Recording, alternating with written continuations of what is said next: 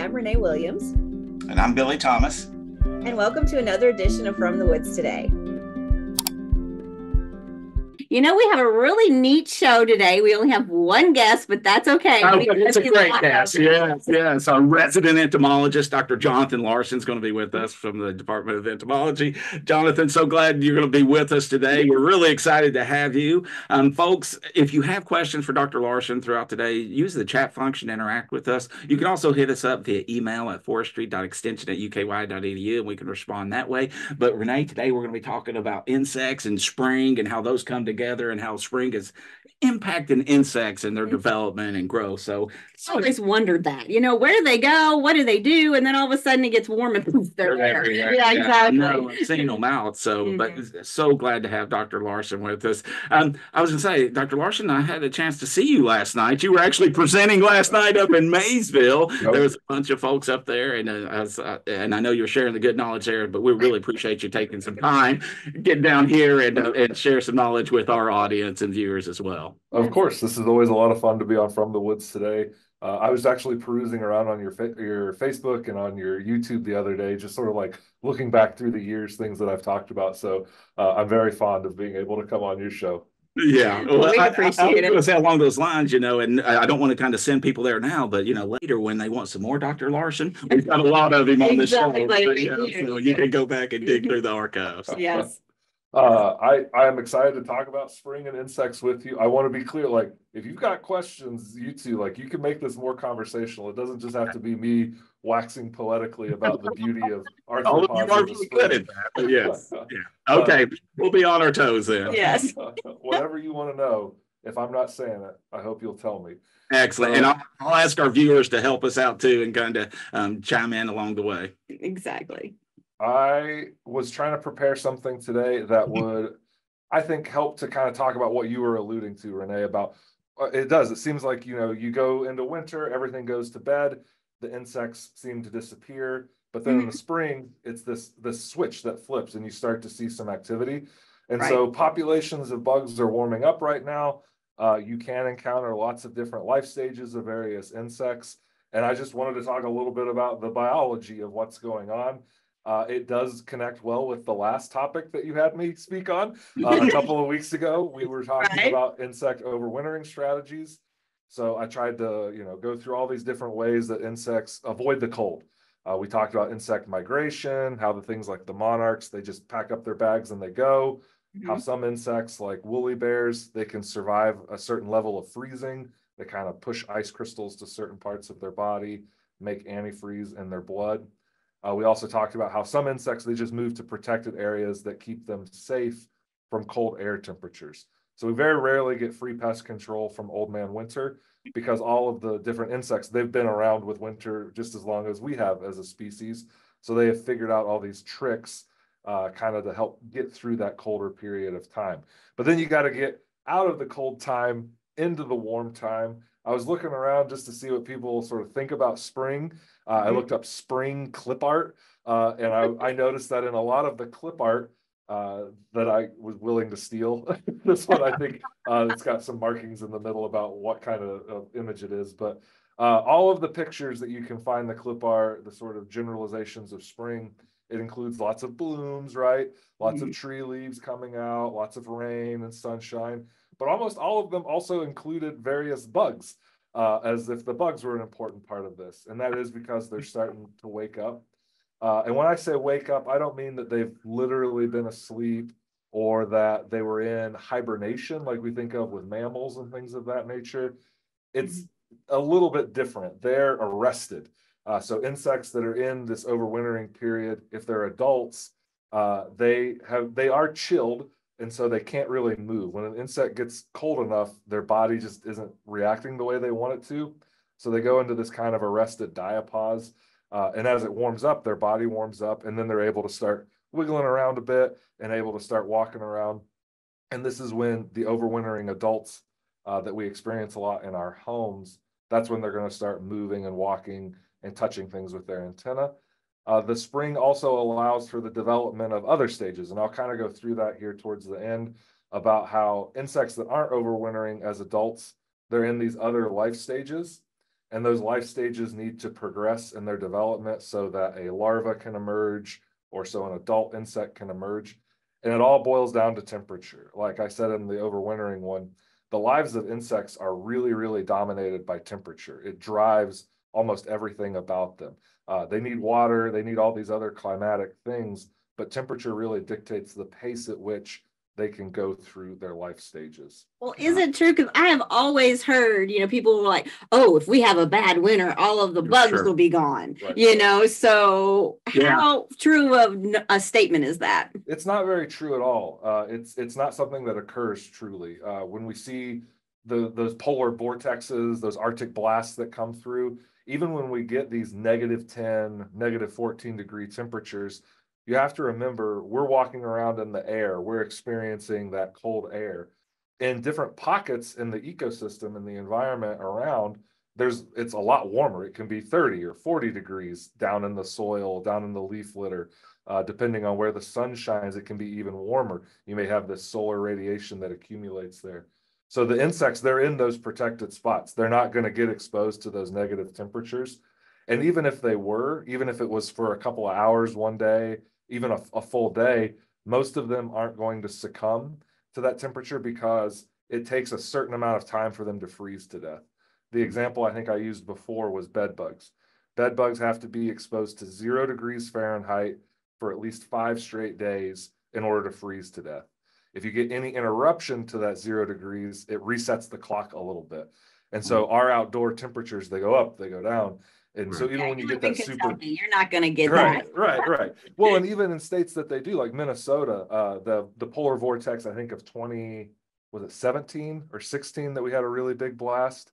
Uh, there was a period where it was negative twenty, I think for uh, forty-eight straight hours.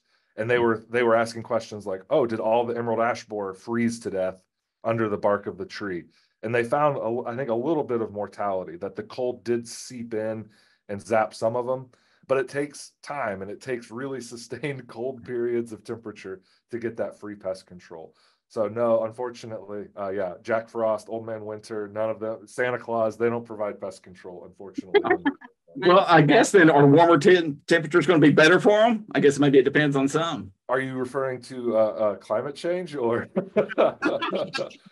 Uh, or the spring?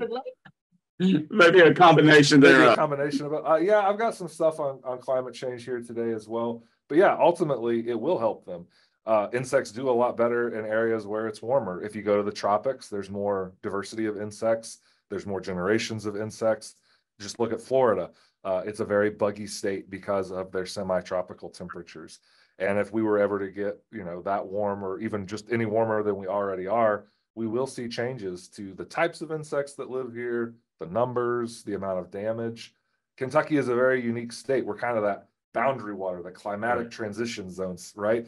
Uh, it's one of the reasons I like living here because we get northern and southern species and you get this just weird mixture of temperatures and weather and climate. Uh, if that ever goes away, we'll become more southern, I would imagine. Uh, and we would start to see more patterns that are familiar from Tennessee and maybe like northern Alabama in our state.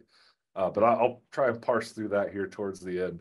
Uh, All right. Let you get I- to it. I, I did ask Renee if I could talk about climate change. Uh, she gave me the green lights. There Excellent. All right. But as we're settling into spring, as things are starting to sprout and bloom, I'm just looking out my window. It's rainy today, but you know, you can see signs of life popping up uh, in various spots. Uh, if we start to look around, we would notice things, some places starting to migrate back. We would notice things starting to walk around. Um, overwintered adults, uh, they may start to begin that migration back into places like North America. So the monarch butterfly will begin this activity soon as will pests like the fall armyworm. They'll start to move north here in the next couple of months. Uh, but we can also look just in our, if you went out in the woods today uh, and started looking around in the leaf litter or under bark uh, on fallen logs, you would start to see things that are starting to wake up and move around, stretch their legs and get active. You can even do this in your home. Um, you may be noticing some of this overwintering breakage, uh, the, the stoppage of overwintering activity in your house, on your siding, on your deck. Uh, here are three examples that I can think of that I, I've personally experienced in the last week. So multicolored Asian lady beetle an infamous household overwintering species. They're those kind of orangey brown ladybugs that you see in the home with uh, different numbers of spots. And here in the building that I work in on campus, we have lots of them that overwinter in Ag Science North. And they've been crazy active this week, uh, crawling out of the ceilings and taking flight just because we have had some of these warmer temperatures. I think we were in the 70s uh, at the start of the week. So that to them signals the fact that winter is ending. It's time to wake up and it's time to start to get moving, uh, maybe feed a little bit, but in particular, mate and then produce the next generation. Uh, just had a cluster of box elder bugs that was apparently hiding out under my siding on my home. Uh, and they were coming out over the weekend in these big groups. And then brown marmorated stink bugs. They've been doing this for the last couple of weeks. This picture, I asked my wife for permission to share it because this is her toothbrush. If you look closely, you'll see two brown marmorated stink bugs hanging out uh, on the bristly portion of her toothbrush. I was speaking in Elizabethtown a couple weeks ago and I got this picture and she wanted to know why why they were on her toothbrush. And I very excitedly said maybe her mouth produces a brown marmorated stink bug aggregation pheromone, and she didn't think that was very funny. But uh, they they're out walking around, and they do sometimes end up on things like your toothbrush. They end up uh, in your clothes. They're on the floor. Uh, this can happen on any day above a certain temperature in winter. But once you start to get these sustained periods of warmth, that's when you're really going to see a lot of action as they start to come out and take flight and look for each other.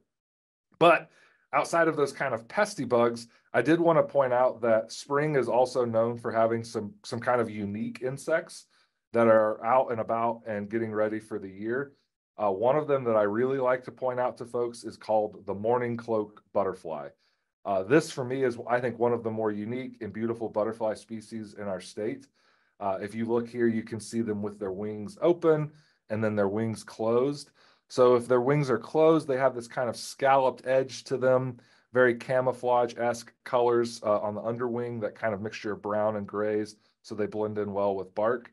They're intriguing because they overwinter as adults. Uh, we don't see this with a lot of Lepidoptera, with a lot of moths and butterflies, but the mourning cloak is one of the butterflies that they will find an area to kind of cloister together out in the woods and they hang out and avoid those cold air temperatures.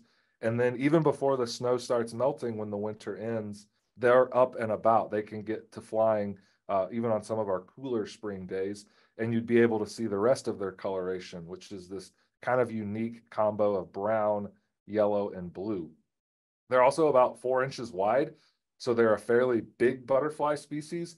This is one that's visiting some early spring flowers to get some nectar. You can see her proboscis sort of unfurling to go down into those flowers and get the nectar. But for me, that that color combo, the the yellow scalloped edges, the kind of deep brownish red color on the rest of the wings, paired with those blue dots, it's very pretty. It's very interesting and unique. Uh, and it's only at this time of the year that you'd be seeing uh, those adults until we see the next generation grow up at the end of the summer. So an individual insect in this group, they can live for up to about a year. Uh, they like to fly around and look for things like elms, willows, and hackberries, as well as wild rose for their larval hosts. So these adults that are right now fluttering around, getting ready for the year, they'll mate. They'll probably get cold again. You know, we never have uh, uh, just a pure spring. We have these bursts of spring, and then it gets cold again, and then spring returns. Uh, they'll probably start to lay their eggs in that second uh, spring emergence and then they'd be finding these trees that I mentioned. We have a few hackberries in the state, as far as I'm aware, uh, so it makes sense why we see them here in Kentucky. But then those caterpillars will hatch, they'll progress through the summer, uh, they'll become adults in the fall and overwinter as adults themselves. We also have uh, what I would collectively call the punctuation mark butterflies that come out here in March and April. These are the question mark butterfly and then the eastern comma. Uh, again, you see this kind of scalloped edge to the wing, makes them look kind of like a leaf in profile, uh, even when the wings are open. They get their name uh, not because of their favorite punctuation marks, but because entomologists, you know, we tend to be very literal when we name things. If we look on the outside of their wings, so the underwing, again, we see that kind of camouflage-esque pattern. But with these two species, we also see silvery shapes appear in the lower wing. And those are what give the different species their name. So if we look the question mark here on the left, it's a very generous description to call it a question mark. You kind of have the squiggle line on top and then the dot underneath. So that's the question mark. Here on the right, you can see kind of a silvery comma uh, that pops up on the lower part of the wing. So that's why they're the punctuation mark butterflies. But uh, these are both overwintering as adults right now. They're going to start to emerge. Uh, one of the really cool things about these, and probably one of the reasons that they're able to be a spring active species uh, in the way that they are, is that they don't just go to flowers. They preferentially will puddle or nectar at dung, rotten fruit, tree sap, and carrion. So they don't have to wait for the flowers to be in bloom. They can find a pile of deer dung or bear scat or whatever out in the woods, and they can actually get nutrition from it with their proboscis. Probably pretty hard to find rotten fruit right now, but tree sap is conceivable. You could find some oozing trees or weeping trees. And then everything's dying all the time. So there's carrion that they can stop at, and they'll just slurp up the kind of death juices from that dead animal and they get what they need out of that material. Uh, in terms of what they're going to lay their eggs on, they also like elm, like our last species, and hackberry. They'll also use uh, various types of nettle. So if they can find some nettle growing, they will lay their eggs on that. The question mark butterfly is interesting because generally they're not a problem. They're just kind of out in the landscape. But anybody that's growing hops, uh, kind of for their own microbrewing, or if you're just trying to make a market for hops, uh, the, the, the question marks sometimes will pop up on that as a caterpillar pest uh, and kind of feed on those. Renee, Billy, have you ever found any of these various butterflies out in the woods in the spring? Are you hanging out in the woods right now already? Uh, you know, we ha- I haven't seen those exactly, and we were also kind of a little. Uh, maybe it's not fair since we're not entomologists, but we were Right. a little. questioning the question mark. Yeah, it's very generous, right? Yes. Semicolon, maybe. I mean, those look like pieces of bark almost, really. You know, uh, yeah. So Yeah, the wings definitely are bark like. I've always wondered why they didn't like. It's kind of like the eyebrow, maybe the eyebrow butterfly. Right. Uh, I don't know. Maybe this is also just a bad. rep- Because I'm sitting here going, "Mm," we were both going, nah. I'm like, that's bark. Come on.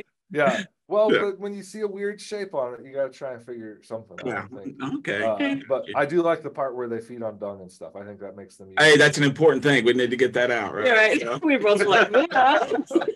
Uh, these are some other things that if you went out right now, you might be able to find a few of them. Uh, probably not today. It's a little overcast, a little coldy, but uh, there are social insects that are noticeable in the spring, uh, particularly because they're sending out sort of royalty. This is a bit of a parade of queens that you'll see in the spring. So social insects such as bumblebees, as well as yellow jackets, even larger insects like European hornets. Uh, the queens that are going to start colonies, they have overwintered uh, out in the soil. If you look, you can see that bumblebee kind of hanging out in the ground. That yellow patch of fur is sticking out. Here in the center, we have a southern yellow jacket queen. Uh, they look a little different than their workers because they're almost all yellow, and they're down in the leaf litter and hidden areas in the woods waiting out the winter. And then the same is true for European hornets. Those queens uh, that emerged last fall around October or November. They've been in these protected areas to avoid the cold air temperatures. But now that it's warming up, they're going to look for places where they can build their nests. Uh, depending on what species you're talking about or what group of these social insects, those can be in very different areas. So, for example, bumblebees, the queen, when she comes out, she needs to forage and then find an abandoned rodent burrow. So they're going to find this hole that's been dug in the ground by a rabbit or what have you. Usually there's some fluff that's been left behind, some hair that's left behind in that nest, and they'll actually use that to kind of build the start of their nest. They'll create these egg chambers, which you're seeing her do on the left here. And initially, it's just her. She's all alone as the queen. She lays her eggs, she tends to these new larvae. She has to build the rest of the nest and she forages.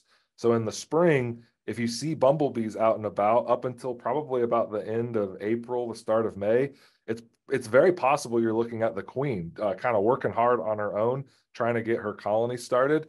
And we get nervous about that because if she's killed, the whole nest is toast. And this is also the time of year where we have a lot of insecticides getting put down uh, for seasonal protection of various crops and plants, ornamental plants. And we're worried, you know, that queen, if she gets nailed with a spray or drinks some poison nectar from a plant, uh, there is the possibility that her whole colony just collapses uh, right there at the start of the season because it's just her. Uh, but as she kind of rears those first workers up, they'll take over a lot of the the jobs in the hive, and she'll specialize just on egg laying, and she'll stay indoors after that and get the colony kind of humming along. Yellow jackets, they'll also build down in the soil, uh, but they can also be up in the air. They'll build in bushes. Uh, yellow jackets are much less picky than these other insects that we're kind of conversing about, uh, where they're going to build their nest actually. European hornets, uh, they tend to like tree hollows, but they'll also use your house or your shed in a pinch. This is the start of a European hornet colony. The queen has already reared up a few workers. You can see them hard at work, uh, sort of creating a pulp that they use to expand the papery portion of the nest to cover up the tiers where the eggs are going to go. There'll be more and more levels of egg laying areas for the queen as they develop this. Uh, but it's a very sort of special time of year for them to get out and do this. And they're very susceptible, as I said, to perturbations in the environment. Uh, if they're harmed by a late frost or if there is some sort of insecticide that gets them, the whole colony will be toast at that point. Uh, the other things that you could go out in the woods and see waking up right now would be quite a few beetles. Um, there's a lot of fallen trees that become their own little kind of mini habit habitats, uh, ecosystems. And uh, we find that a lot of beetles will specialize in using that if we're sticking just with the insects. You might also see millipedes and centipedes and all kinds of others that are avoiding those cold temperatures.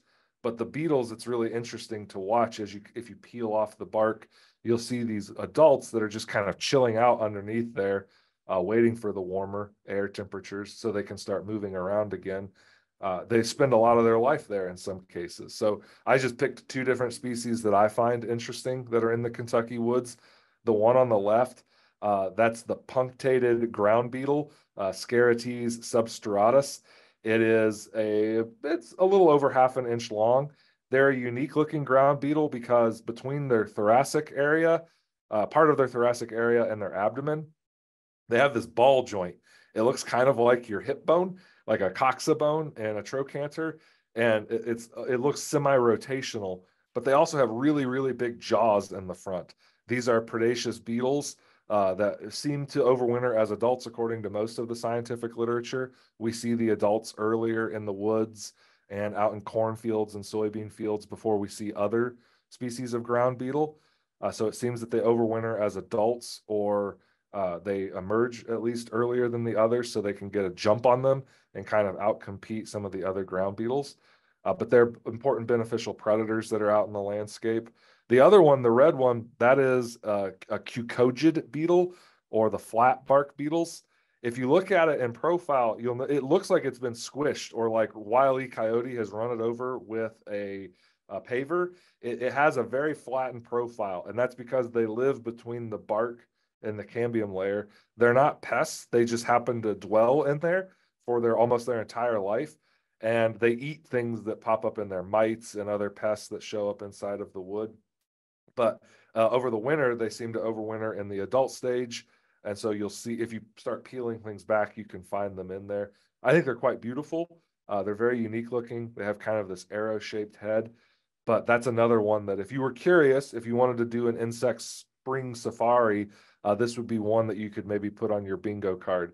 Uh, it would be easier to find them at this time of year compared to later in the season. That brings me to sort of switch gears from talking about these adults that have been overwintered and that are just warming up. They're getting nice and toasty. Uh, they can get rid of the scarf and the gloves and the coat. Uh, to talking about other life stages that have been present over the winter. When insects uh, develop, you know, they have to start life in almost all cases as an egg. And the egg can hatch in the spring or the summer or the fall, or it can be the stage that they overwinter as. It can also, uh, we can also see pupa overwinter. These are two life stages that they offer uh, some ease for overwintering, uh, just in regards to what the what the insect is at that point in their life. Uh, it's important to sort of highlight how insects develop here I'm pretty sure I've talked about this before uh, on From the Woods today, but just as a bit of a, a, a recovering of it. An insect will lay its eggs, and then depending on what kind of insect it is, they'll either go through complete or incomplete metamorphosis. These are the two terms most often applied to insect development.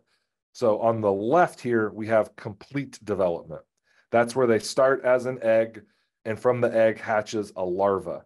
We have different names for larvae depending on what the insect will turn into. So for beetles, we use grub a lot. Grubs are baby beetles.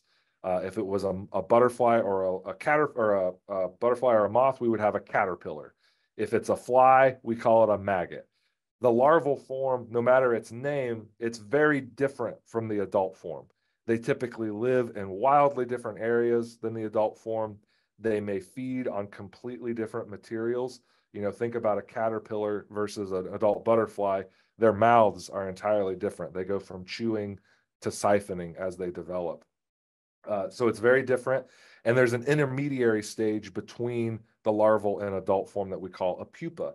The pupa uh, is also important for overwintering. And I'll kind of go through that more here in a second. But it's this intermediary, usually immobile stage where there's a lot of changes happening inside of the pupa to have the resultant adult emerge uh, at some point during the growing season. On the other side of the aisle, we have eggs that hatch and they go through incomplete metamorphosis, which is where we have nymphs. Nymphs are, are immature insects that look a lot like their adult form. Here is a grasshopper example. So if you compare a baby grasshopper to an adult one, you can see it. You can see the family resemblance. There is uh, some similarities. The nymph is just much smaller than the adult and it lacks wings. As they grow, they get bigger and they will also develop from their wing pads. Their wings will start to get longer and longer till they're fully fledged pilots as adults and they get their wings and they're able to fly.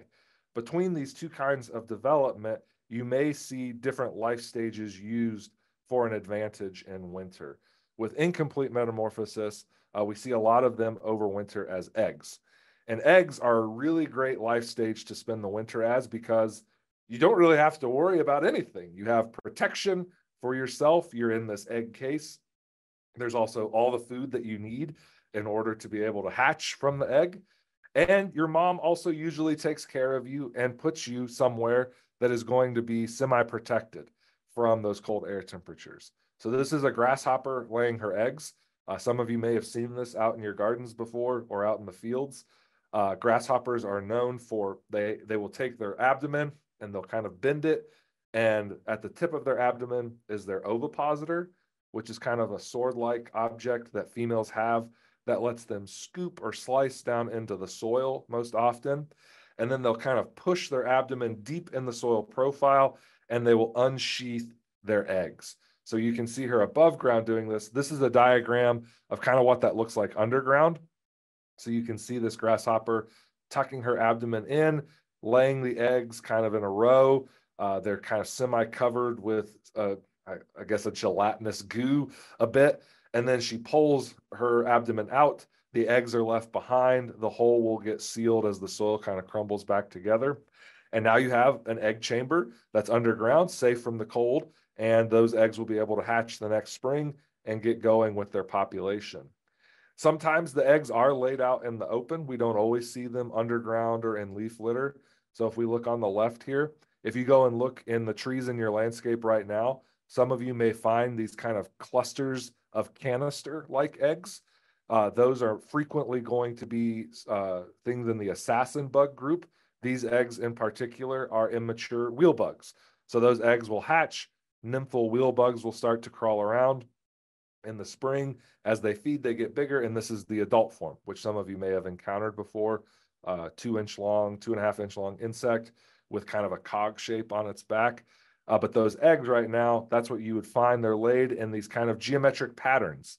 Uh, their relatives, the stink bugs, also do this, and a few other groups. Uh, but those will emerge, uh, open up in the spring. Other times, the eggs they're not laid out in the open. They're not put down into substrate.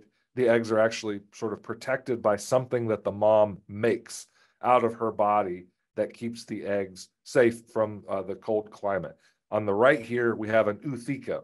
This is a praying mantis egg case. It looks sort of like styrofoam insulation, like it's been sprayed on the plant. Inside of here are rows and rows and rows of eggs. Then the and the nymphal grass, not grasshoppers, nymphal mantises will pop out in the spring. If any of you have ever taken these inside, you've probably experienced this a little earlier than you anticipated. Uh, we sometimes have people try to rear up mantises from an ootheca they find. And if they don't put it in the refrigerator or keep it in a jar outside, if they just keep it on the counter or their bookcase in their room, our heated homes, they speed up the development that they're going through and you get mantises in January. Uh, and then you got to do a lot of rearing to try and keep them alive or they're just going to eat each other uh, or maybe perish because you can't release them. Other eggs, egg cases can include cockroach egg cases, which look very similar to mantis egg cases. Uh, we see this with spotted lanternfly, the invasive species that you've heard me speak on before. The mom covers those eggs up and kind of a gooey material that hardens into a protective cover. We even see it with bagworms. Uh, bagworms lay their eggs inside of their bag so that that bag offers their, their future babies a little bit of protection. Uh, so there's a baby mantis that's hatched out of that ootheca. Very cute, very alien-like, looks very inquisitive as it stares at that human and wonders if it can eat it. The other type of development with uh, complete metamorphosis, when we have that pupal form introduced to the situation, the pupal form often becomes the, the reliant stage for overwintering. Uh, the pupal stage is also something that doesn't move, it doesn't need a lot of food. This is just a stage where the insect is recombining itself inside of the pupa form to become an adult. Uh, pupa are fascinating uh, to me as an entomologist, at least. Uh, they're easy to observe because they're immobile. But if you look at them closely, they are this sort of weird mixture of their immature and adult stage. So my example here is a tomato hornworm.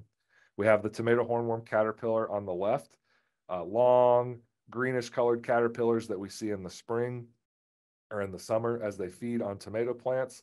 They have that uh, horn on the rear end that helps to differentiate them from other caterpillars. When they pupate, they will usually dig themselves down in the soil. They shed their last larval exoskeleton, and out comes the pupa. When we look at the pupa, you can see some caterpillar-like traits, right? The rear end here, the abdomen section, looks very caterpillar-like. The breathing holes resemble the breathing holes from the caterpillar stage.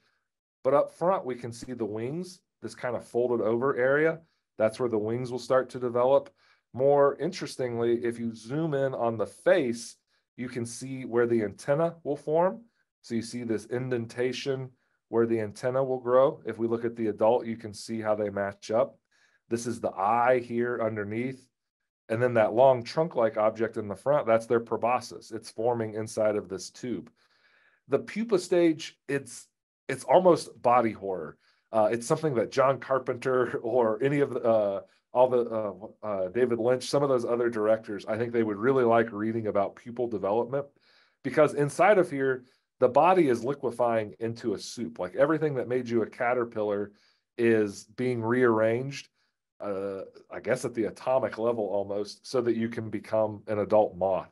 Uh, it's important to say that the pupa, it, the the moth isn't inside of the pupa. It is a, a literal melting down of everything that the caterpillar was so that a moth can come out of here. The moth isn't hidden underneath there though until the end of the pupal stage. Uh, the pupa are also usually put in protected areas. The larva will crawl somewhere and then sort of get down in the soil or tuck themselves up somewhere so that they can get away from the cold air temperatures. Uh, they may perform uh, construction of a pupal chamber. So if you've ever been cutting wood and you have found this weird sort of circle or oval of chewed up wood material or slivers of wood, and it kind of has a hole in the center. That was probably a, a round-headed borer insect that uh, is a, a, type of beetle that produced a pupal chamber. So they gather some of these slivers of wood they've created around them. They will secrete uh, a body liquid out, and it will kind of clump up on that those wood slivers and now they have formed this protective barrier for their pupal form because they don't want things to be able to just walk up and eat them or lay their eggs in them. They've created kind of a wall between those predators and parasites uh, and their body. You can also see this down in the soil. So here's a pupal chamber that was constructed lower in the soil profile. You can even see the old larval skin underneath. Uh, this was a scientist that made a little terrarium. So they put two pieces of plexiglass fairly close together and filled it with sand so they could take this image, a lot like you would do with uh, an ant farm uh, that lets them to see this development that's happening underground. Other larvae, as they start to change into a pupa, they will produce uh, an enormous amount of silk and they'll tie it together and they form a cocoon. Uh, they may even tie a leaf over it. On the right here, we have a Cecropia moth cocoon, and then inside is the pupal form, uh, the, the, the intermediary stage between the caterpillar and the adult. So when they are, it's time to emerge from the egg or to eclose from your pupa. Here you're seeing a Cecropia moth as it ecloses, which is just what the scientific word we use to describe adult emergence from a pupal form. This is all dictated by temperature. When this happens, how quickly this happens, how successful you might be at this. Uh, it all comes down to the temperatures that your life stages are being exposed to. And entomologists, for the last couple hundred years, have studied the effects of temperature on development. And this has led to the establishment of growing degree day parameters for insects growing degree days are used for trees and all kind and plants and all kinds of other things as well. Uh, but when we use them for insects, it's very helpful to figure out when insects may start to come out. Uh, this can be for non-pests, but of course it's used pretty frequently to know when the bad bugs are going to show up. So what is a growing degree day? Renee and Billy were like psyching me up to be on the show today and they were saying all these compliments. And then I said I had math in my talk and their attitude cooled a little bit. So hopefully I can thread the needle here a little bit and talk about growing degree days and how we establish this. So when insects are developing, there is a sweet spot of temperature that's good for them, where their bodies will actually start to develop or continue to develop. But there is also an upper and lower threshold to that sweet zone. So above the upper threshold, so if it's hotter than say 85 degrees, they can't develop. It's too hot. So they have to sort of arrest themselves at that stage, or they may die. Uh, there's also a lower threshold. So it's too cool for the body to develop.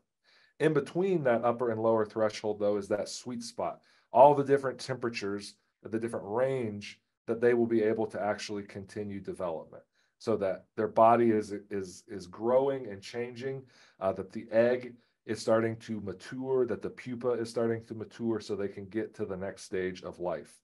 And scientists have established these thresholds for a lot of different species.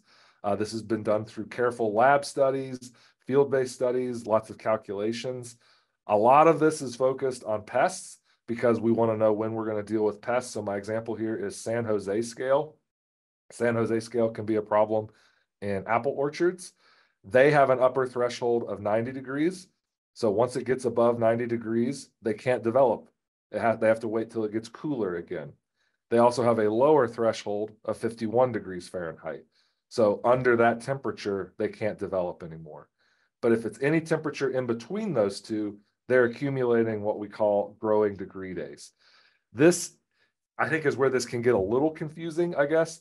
A growing degree day isn't, you don't just get one if it's over 51 degrees, for example, with the, the San Jose scale. You can accumulate multiple, even many growing degree days in a given day. And I'll show you how that works with a calculation here in a second. But it's the total amount of heat that is required between the upper and lower thresholds for an organism to develop from one point to another in its life cycle. So we get these growing degree days that are going to pop up in the spring, more in the summer, a little more sporadically in the fall, and then very rarely over the winter. And this results in this kind of stop and go development for different insects out in the wild. The example here is a cabbage white butterfly.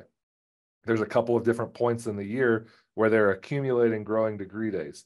So from the egg to hatch out, from the pupa to hatch out, to the larva to develop, to get to the pupal stage so that they can come out as an adult. Uh, all of this is calculated. It's it, it is focused on pests. We have some for the non-pests, uh, but by and large, that's what you're going to see. It's a measurement of heat units.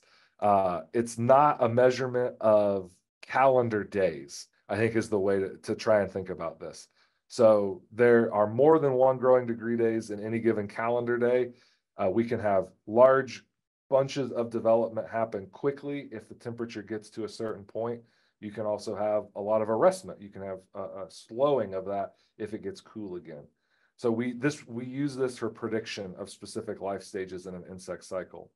These growing degree day models, they help us with what we call integrated pest management. It helps us to know when to scout for pests, when to go out and start to do sanitation, when pests may be easiest to control. Uh, if they're still eggs and you just vacuum up a bunch of leaf litter that's in your garden, say, then you can get rid of those eggs before they hatch and you never deal with the pest. Uh, can also help to guide us to know when to treat with pesticides. These two gentlemen on the right from Delaware they're checking a, a light trap.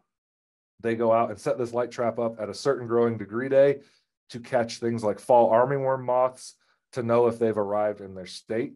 And then they will say, okay, we caught 12. Uh, that's enough to cross the threshold. And that means that in two weeks, you need to apply this pesticide to protect your corn. Uh, all of this kind of com- combines together these traps, the growing degree day models, the math, the bugs, the scientists, to help know when we can best get our pest control in that's going to be economically and environmentally sustainable. So there's multiple ways that we can calculate growing degree days. I'm going to show what we call the average method, which is kind of the simplest. If you don't want to learn about how to do this, you can also type in, uh, you can say growing degree days Fayette County into Google, and you'll be taken to the Mesonet map, uh, or the Mesonet site, uh, the climate site here for the University of Kentucky with our meteorological group and you can pick your county and you can pick your starting date and ending date, and it'll tell you how many growing degree days you're at in your local area. So I put in Fayette County this morning to make this little chart here. We're at 77 growing degree days here uh, as of yesterday, March 5th, 2024. So we've had enough warmth this year that we're already up to this 77 growing degree days being accumulated over the course of two months and some change. Uh, to do the average method, you have to have the daily high and daily low temperature for the area that you're scouting. You add those together and then divide by two. And then for the average method, we just use the base model 50 to get the growing degree days in any given day. So yesterday you could take the high temperature and low temperature for your county or from your uh, temperature that you have on your farm or at your uh, at your house, and then you add them together divide by two, and then minus 50. That gives you the growing degree days for that calendar day. So we might have a day that it was 75 degrees at the high, uh, 55 degrees at the low. Add those together, divide by two. We use this lower developmental threshold of 50 uh, in the average method. Uh, you subtract the result from your parenthetical here by 50, you get 15 growing degree days. So a couple of days ago, that's what we had. We had 15 growing degree days because the temperatures pretty closely matched up with this. Sometimes when you do this, you may get a negative number. If it wasn't very warm, uh, but it was fairly cold, then uh, you you might end up with a negative number. Uh, sometimes these numbers just get kind of jumbled up, but that doesn't mean the insects go backwards. That's just a day that insect development was halted. Does that make sense, Renee and Billy? Are you super bored hearing me talk about growing degree days?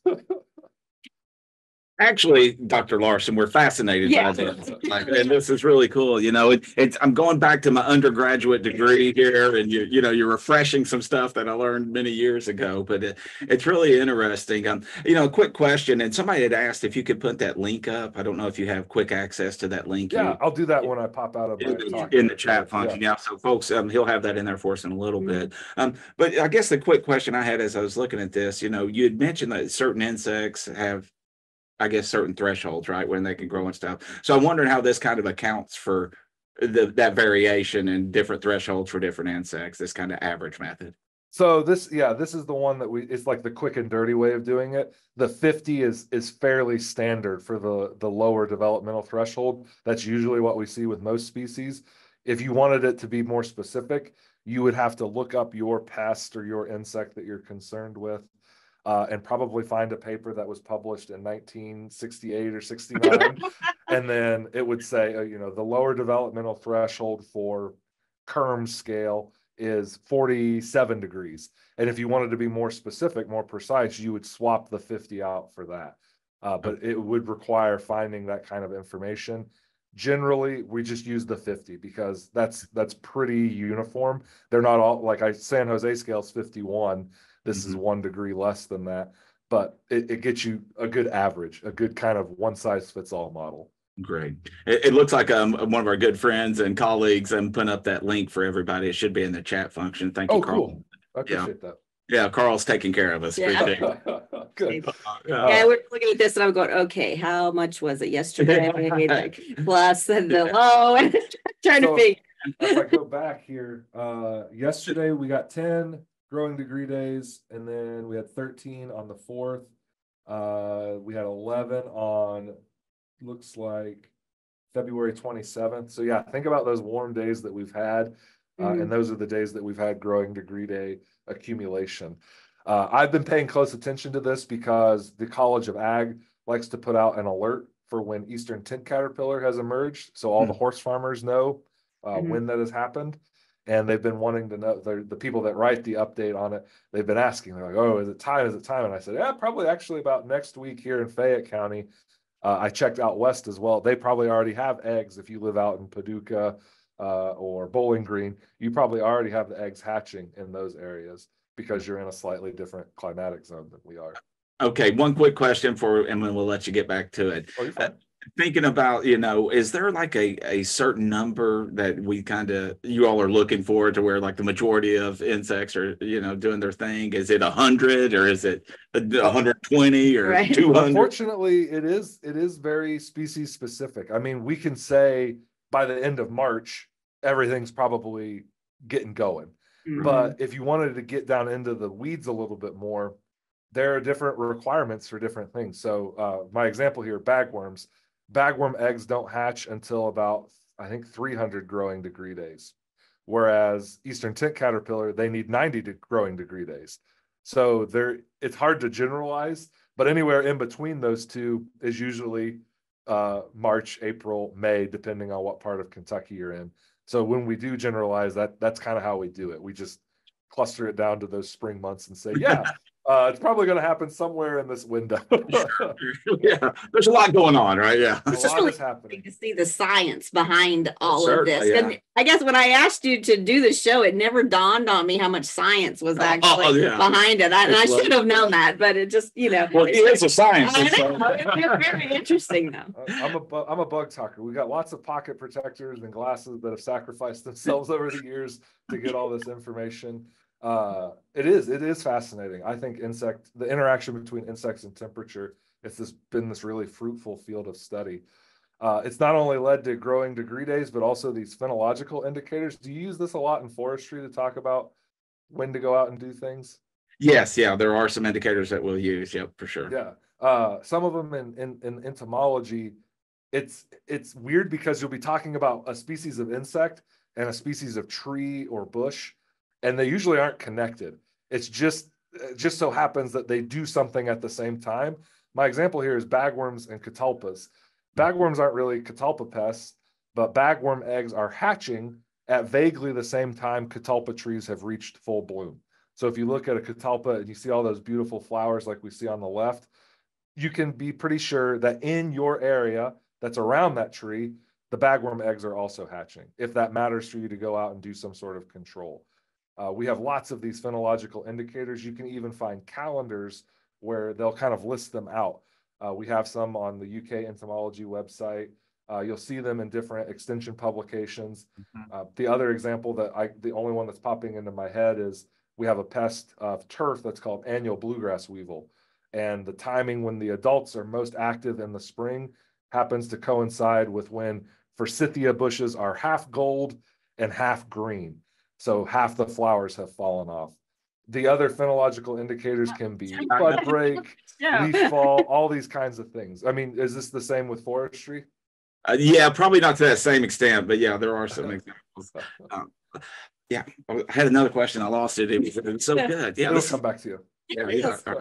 Get back to it. Uh, But the growing degree days, you know, not everybody wants to sit down and calculate that out. Some of them prefer, some people prefer the phenological indicators. Because it's something that you you notice in and around the area that you're growing something. Uh, it is good to use kind of localized plants if you're going to use phenological indicators. I try to tell people if you live on one side of town or one side of the county, what you're noticing there, uh, if you drive over to your tree stand or if you go to visit a different county uh, to go out into the woods or what have you, it, it's a different microclimate. Uh, so you have to look more locally to see those phenological indicators. You can't trust what's in your backyard to tell you what's happening a county or two away. That brings me to, I guess, the most controversial part of my presentation uh, that maybe some people will have some thoughts on. But I, I wanted to point out that all of this that I've presented is in a state of flux, unfortunately. Uh, we have all these carefully constructed growing degree day models. We have all these phenological indicators, but unfortunately, everything is kind of in a boggle box right now, getting shaken up by climatic variability, by climate change. The world is getting warmer. If you look at the data, we have noticed increases in temperature across the world. This is going to have impacts on insects and their development. Uh, we alluded to this kind of at the start when Renee was asking some questions about, you know, when bugs get warm, what's going to happen? If it gets hotter, then they're going to be more successful, frankly. Uh, some species will be more successful, and other species will be less successful. Uh, climate scientists have also just flat out noticed that springs are arriving earlier. I don't know about you, but I wasn't expecting uh, a 75 degree day before a leap day uh, here in 2024. Uh, summer is also lasting longer. And because of this, you're seeing this extended growing season, which is going to not only be afforded to plants, but be afforded to insects. There's also a variability day to day where you have these sometimes extreme swings in temperature. We've also seen upticks in extreme weather events. All we have to do is think of Kentucky over the last few years and some of the floods that we've experienced, uh, the tornadoes that have appeared on days that are seemingly outside of the normal tor- tornado schedule. All of this could happen more. Think of states like Florida; they're they're experiencing extended hurricane seasons as well.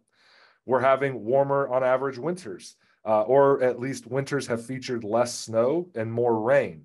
Uh, I have often grumbled over the last two winters on rainy days in December and January about how this should all be snow and we should get a snow day.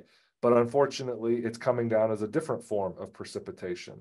This data that you see here is from 1895 to 2017, showing how winter has changed. Kentucky doesn't seem to have altered a whole lot. Uh, our more northern states are the ones that have experienced more extreme shifts in their winter temperatures on average. But you can see if you go down to February, we do have some changes here in Kentucky. Uh, we have more red areas uh, according to this map, which means that spring is arriving sooner rather than later. Uh, this has all been kind of epitomized, I think, in the 2023 USDA plant hardiness zone map update, which changed all of the states. Like we have new growing zones that people are living in. I used to live in Nebraska and I had all I have all these Nebraska Facebook friends and they were cheering because they went from zones 4 or 5 all the way into 6 in some cases in that state, which is a big swing temperature wise and they were talking about all the new plants this means that they can plant uh, but seemingly we're ignoring the part about that that is hard evidence of climate change if it's that much warmer in Nebraska that you can bring in uh, a crepe myrtle possibly, that's a big shift. Kentucky has experienced this as well. Our state also changed. Uh, we have more of the state in the 7A and 6B zone uh, rather than in just the, the 6A. So it's it's a big shift and it's going to have consequences not only for the plants that we grow, but for the bugs. We may deal with higher populations of insects more generally. The warmer it is, the more successful insects tend to be. So there just might be more activity. Uh, there might not just be more insects overall, but there will be more generations per year. Uh, think of things like mosquitoes. You may deal in a normal year uh, back in 1989, you get out of your Smokey and the Bandit Trans Am, uh, you're only going to experience one to two generations of mosquitoes in a growing season. But now we're up to three or four potentially because it's warmer for longer. They can squeeze more in that may not seem like it has serious consequences, but it can mean things for plant pests. Uh, it can mean things for insecticide applications as well. Also would point out that if winters are less arduous, as we've sort of talked about with Kentucky a second ago, This could change migration patterns of insects. Migratory pests such as the fall armyworm and potato leafhoppers, they may be able to survive further north instead of just being down in the southern tips of Texas or Florida. Maybe they're all the way up into Mississippi and Alabama over the winter and they get here faster, meaning we deal with pest problems for a more prolonged period in the state. We already experienced this with fall armyworm back in 2021. They overwintered much further north than we were used to because of a warmer winter that year. And they got a jump start on getting up to states like Kentucky. They actually arrived here a full month and a week earlier than they usually do, just because they had that head start uh, based on their overwintering habitat. We've talked about winter mortality rarely causing local pest population el elimination, but the more extreme weather events that we have, the less snow that we have, the more, I guess, perturbations we're going to see to this overall system. Snow does protect insects that are in the ground. It provides an extra layer of insulation. So some insects are losing that and they may freeze to death as a result. So some of my answers could change uh, to what Renee asked me about, does winter kill bugs? So there could be certain pests that are destroyed. It can also just create hard to predict problems. The growing degree day models, the phenology models that I've mentioned, they're sort of crystal balls that help us to know what is going to come up in a more normalized pattern. But those models are all shifting under our feet. We may not know what to say in states like Kentucky uh, until things settle down and we're able to reestablish and reevaluate these types of models. Uh, we've also seen that pests are going to do better in the coming world. Uh, there was some research in New York City after Hurricane Sandy that showed uh, extreme weather events favor pests and invasive species. So they already survive in high stress environments.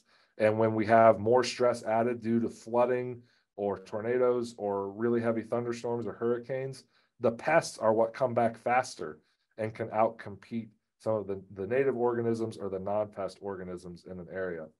This also can be very layered. It may not impact the pests directly, it may impact their hosts. So we might see shifts in what forests look like. Uh, the ranges of trees could change in certain states, which is going to open up new niches for pests to feed on uh, or make pests go away, even potentially, because there's just no more food for them. This could also be true for beneficial organisms, unfortunately. Beneficial organisms suffer from these kind of changes more easily than pests do. And so all of these changes to the climate, it may cause this mismatch between something like a wasp that lays its egg in a grub. They may not be able to develop as quickly as the grub. And so the grub gets a head start and they're at a stage where the wasp can't sting them and lay their eggs inside of them anymore. We've missed that biological control window because of these changes to temperature uh, the the natural enemies they just don't recover from these things as easily. And so once these changes start to happen, we could see localized extinctions. Uh, we could see host shifts. We could see all kinds of problems kind of cascade down from these climatic changes. We've already observed this in urbanized areas. Uh, cities offer sort of a look at the temperature that we might see in certain states in the future. Uh, a city like Louisville is already several degrees hotter on average than the more suburbanized or rural counties around it. And so we can use those as models. NC State has done some great work on this and shown that city trees, they deal with higher pest loads uh, because those pests are escaping their natural enemies. They outdevelop them, they outcompete them because of this beneficial heat that they're getting. I don't want to take up take us up all the way to the end, so I'll just kind of skip ahead and talk about how these changes are already occurring. We're seeing host shifts with native species. We're seeing phenologies change, which means that insecticide applications are going to have to adapt. A lot of the things that you've read about in the past, they may get changed here in the next few years, particularly in a state like Kentucky, which is already sort of the transitional zone. If we lose our transitional status, we may have to start using models that were developed in, in other states to be able to stay uh, relevant. So I uh, ended kind of on a downer. I apologize, but uh, I, I thought it was important to bring up. No, that that was really an awesome presentation. I'm like, I wish this show was longer. I know. You know, like, it's really good stuff. I Um, got too poetic earlier about the commas and the questions. Yeah. I don't have time for Talk spiders. to you. Yeah, we, we, yeah, we interacted maybe a little bit too much with you. There was a couple of quick little questions. Um, somebody did ask, um, about, um, repeating what you had said about the fall leaves and habitat. You know, I know my wife gets on me a lot about not raking up the leaves and stuff too soon and stuff like that. I don't know if you want to make a quick comment on that. Yeah, I would love to. So yeah, when we see people rake out their yard or leaf blow their yard, they bundle all that up. There are there are a bunch of bugs in there. There's eggs in there. There's pupa in there, uh, and then that gets carted off to the dump and it gets destroyed. Uh, I do encourage people if you like to conserve nature to keep some of the leaf litter, to push the leaf litter to the side, uh, to to not destroy it like that. I mean, it's not every leaf, and I understand you want to maintain a nice yard, but they are biodegradable. Uh, they, are part of the environment. They've existed before our yards and, and they will exist after them. So uh, there is a lot of natural life that's kind of hidden under there. And if you take that blanket away, certain things won't be able to overwinter. And you're also killing eggs and pupa that are hidden in there. Okay, good lesson. So I, Yeah. I guess I should listen to my wife. right? Sounds like Yeah. it. All right, and I think one quick one, um, can this, uh, you know, talking about the variability in temperature and stuff like that, they were asking about the negative impact on insects, you know, for example, bees coming out early and then we get a, a cold snap, just maybe a quick Absolutely. comment on that. Yeah, uh, we do worry about that. You know, I think about the last two springs, we had this like jump start spring in February and early March. And then I remember, uh, I think it was two years ago, I went to go out and start a sampling protocol for a certain pest. And I had to dig through snow in April to get to the bugs. So when we have those weird things, yeah, there are impacts on insects. Uh, we talked about how they don't freeze to death easily, but if it's this freak event, uh, weird variability, and they're already in kind of a prone stage, like coming out of the overwintering, any delay in getting to food or to one another that can snap their their life cycle, snap their ability to survive. It could just straight up kill them. They could get frozen and, and die. So yeah, those those kind of events do happen. Renee looks like she's rooting for it. On that, On the bug. The mosquitoes, yeah, I'd love for to just be gone. yeah, the, the beetle picture at the end might have been a bit much too for her. Yeah. So All the beetles you had. that- Yeah, I was like, Oh. that's like a nightmare. Sorry. All right. All right. So again, Dr. Larson, can't thank you enough. We would love to sit here all afternoon with you and keep talking with you, but we're going to kind of let everybody go for now. But we certainly will have you back again. You know, it's always a pleasure having Dr. Larson. He does such a good job um, of kind of highlighting things that I think a lot of us, you know, maybe take for granted, or don't even think about all the time. Right, definitely. And if you, you know, he's been on here a lot. So if there's any shows that you want to see, you can go to fromthewoodstoday.com and you can see shows that he's done in the past. Yeah, no doubt. And we have our survey up now on there too. If you do have any um, requests, show requests or ideals you think people would like to see, um, please let us know. You know, Yeah. we want to be good servants to you all. We want to help you all be supportive and taking care of our woodlands and wildlife and natural resources here in Kentucky. But thank you all for being with us today. We certainly appreciate you. We definitely do. And we will see you next week at 11 o'clock. Take right. care. Bye, Bye. everybody. from the woods today.